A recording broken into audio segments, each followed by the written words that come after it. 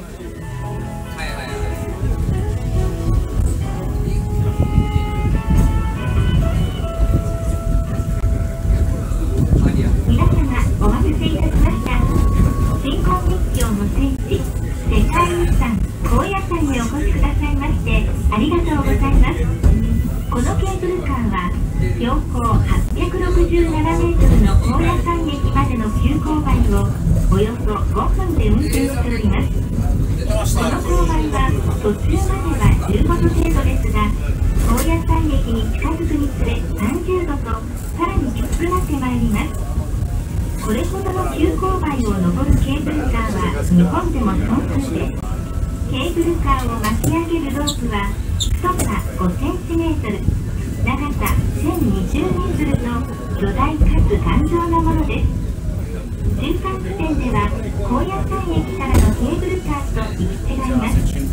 目の前で行き交うその空間も見ものです。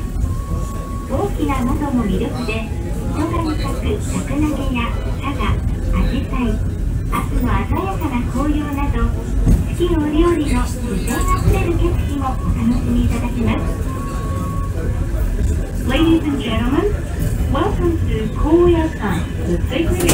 for the Shingon sect of esoteric Buddhism with UNESCO's World Heritage Site. This cable car operates steep slopes to Koya Koyasan Station, located at 867 meters above sea level in 5 minutes. There are not many cable cars climbing such steepness in Japan. Please enjoy the beautiful scenery full of seasonal nature from large windows.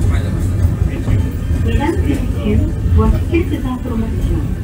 Bienvenue au Mongolia, siège de la secte bouddhiste Shingon et patrimoine mondial de l'humanité. Il faut 5 minutes pour rejoindre la gare du Mongolia qui culmine à 867 mètres. Peu de circulaire permettent de s'élever au public. Du haut, vous pouvez admirer les mille places de la végétation.